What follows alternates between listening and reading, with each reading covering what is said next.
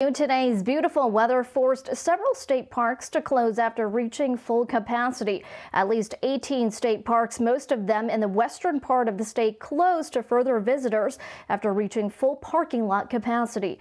The Department of Energy and Environmental Protection also citing that social distancing guidelines were not being followed at some of them. A recent study by UConn said state parks have not only seen double, but triple the amount of people within the past month. Since March, more than half the trails have been used at a high percentage. Park officials say while seeing an increase is great, it is still best to practice social distancing. There's a really popular place that um, you want to go to.